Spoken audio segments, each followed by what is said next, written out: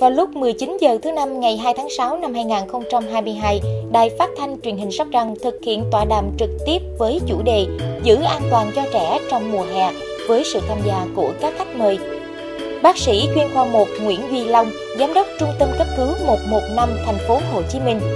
Bác sĩ chuyên khoa 2 Hồng Tuấn Hòa, khoa khám bệnh viện chuyên khoa sản nhi tỉnh Sóc Trăng. Mời quý khán giả quan tâm đặt câu hỏi cho chương trình theo số máy 02993 526 526.